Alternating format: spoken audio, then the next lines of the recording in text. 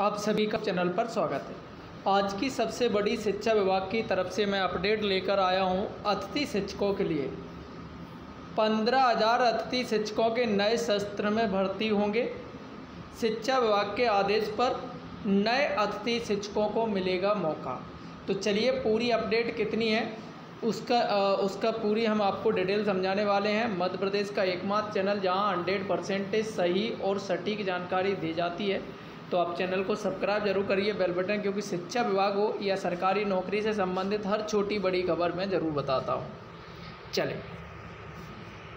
तो देखिए, सबसे बड़ी खबर यही है कि 30 प्रतिशत से कम परिणाम देने वाले अतिथि शिक्षक स्कूल में नहीं पढ़ा पाएँगे। तो देखिए, मैं आपको बता दूँ, टोटल मध्य प्रदेश में बहत्तर हज़ार दो सौ पचास के समथिंग सभी अतिथि शिक्षक हैं। जिसमें से 30 प्रतिशत से रिज़ल्ट से लगभग पंद्रह हज़ार अतिथि शिक्षक बाहर निकाले जा रहे हैं। तो ये जब बाहर निकाले जाएँगे तो इनकी जगह नए अतिथि शिक्षकों को मिलेगा। मौका ये है आज की सबसे बड़ी अपडेट। तो जो भी अतिथि बनना चाहते हैं, सारे अपने डॉक्यूमेंट्स तैयार कर ले। जैसे फॉरम शुरू हो जाएँगे, मैं आपको अपडेट दे दूँगा तो आप लोग ज़रूर इस बार अप्लाई करिए। आपका भी भविष्य समर सकता है।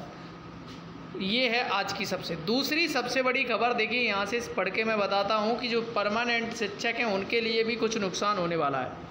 नियमित शिक्षकों पर भी कार्रवाई की तैयारी। तो देखिए, स्कूल शिक्षा विभाग ने 30 फ़ीसदी से कम रिज़ल्ट देने वाले अतिथि शिक्षकों की ज़िम्मेदारी तय करते हुए उन्हें किसी भी स्कूल में दोबारा मौका नहीं दिए जाने का फैसला लिया है। साथ ही तीस प्रतिशत से कम परिणाम देने वाले नियमित शिक्षकों पर भी विभाग कार्रवाई की तैयारी में है। तो देखिए, जो नियमित हैं, उनके स्कूल में ऐसा हुआ है तो अब क्या होने वाला है, उन पर भी कार्रवाई होगी।